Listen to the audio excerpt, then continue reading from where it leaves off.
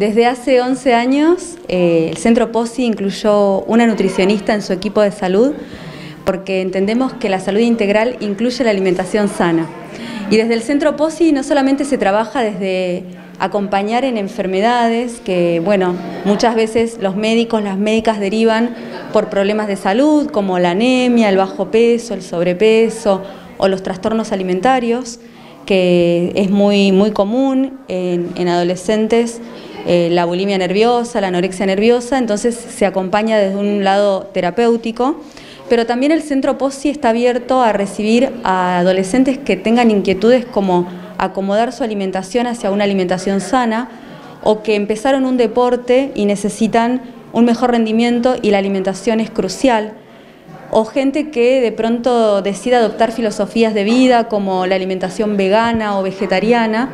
Entonces, desde ese lado, acá se acompaña.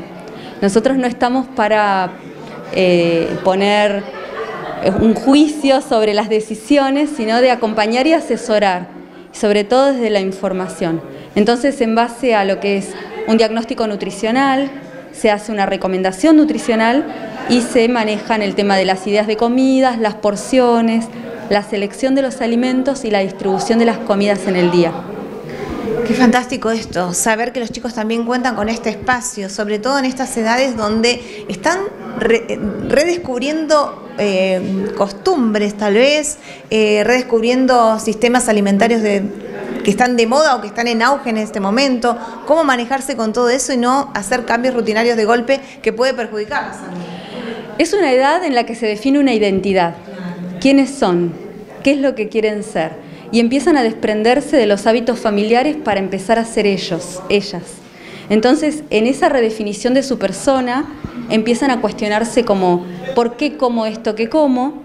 ¿Y qué es lo que yo soy cuando como esto? Entonces, es importante considerar que la, la nutrición es accesible. Acá en el centro POSI simplemente sacan un turno y se van a encontrar conmigo y con todos estos recursos con los que trabajamos. ¿Sí? Siempre que tengan ganas, las consultas llevan tiempo, así que yo les digo, vengan con tiempo, más o menos entre 40 minutos y una hora, porque tenemos que conocernos, hablar de horarios, de hábitos, armamos la distribución de comidas, la selección de alimentos y hasta ideas de comidas si se llevan tarea.